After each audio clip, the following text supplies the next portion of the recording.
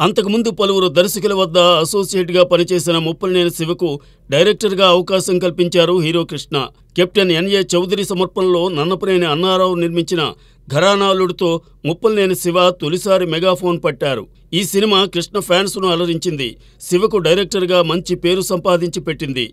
దాంతో డి రామానాయుడు తన తాజ్మహల్ చిత్రానికి డైరెక్షన్ చేసే ఛాన్స్ ఇచ్చారు. ఆ సినిమాతో సక్సెస్ చూసిన ముప్పలనేని శివ తరువాత పలు అవకాశాలను పట్టేశారు. వాటిలో వెంకటేష్ హీరోగా రూపొందించిన రాజా సంక్రాంతి చిత్రాలు బ్లాక్ బస్టర్స్గా నిలిచాయి.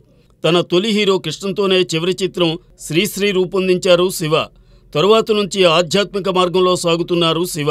అయితే ఘరానాలుల్లోనే పాటల చిత్రీకరణలో తనకంటూ ఓ ప్రత్యేకతను ప్రదర్శించారు శివ.